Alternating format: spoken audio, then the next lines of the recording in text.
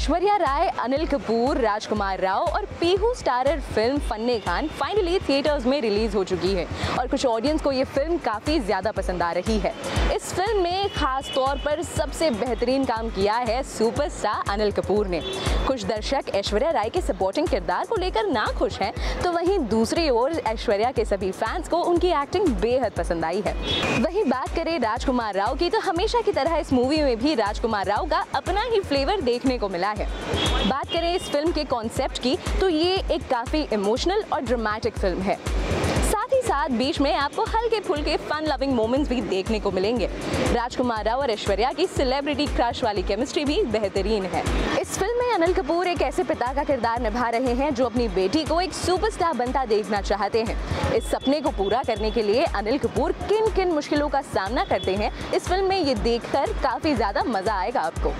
साथ ही साथ ये फ़िल्म एक काफ़ी ज़्यादा इमोशनल टच पर एंड होती है, जो कि ऑडियंस की आँखों में नमी लाने वाली है। बात करें फ़िल्म के डायरेक्शन और सॉन्ग्स की तो अतुल मांजरेकर ने इस फ़िल्म में डेब्यू डायरेक्शन के तौर पर बेहतरीन काम किया है साथ ही साथ गाना जवा है मोहब्बत ऑडियंस को काफ़ी ज़्यादा पसंद भी आ रहा है जानते हैं कि ऑडियंस का इस फ़िल्म के बारे में क्या कहना है No, it was a nice movie. Uh, I think the experience was very soothing.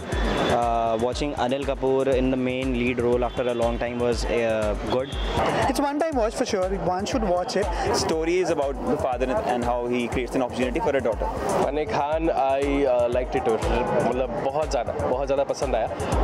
क्योंकि it's a breath of fresh air बहुत ही टाइम के बाद ऐसी यू नो रिफ्रेशिंग मूवी देखी है जब देख के बड़ा मज़ा आया फन खान मुझे बहुत अच्छी लगी बहुत हाँ इंस्पायर किया क्योंकि हर एक स्ट्रगल स्ट्रगलर जो होते हैं उनकी ज़िंदगी से रिलेटेड है इवन इसका सॉन्ग भी बहुत अच्छा लगा मेरे अच्छे दिन कब आएँगे.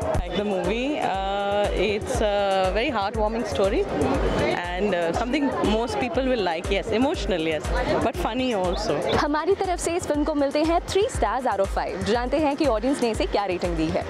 3.5. Three. Give four stars out of five मैं तो 4 दूँगा।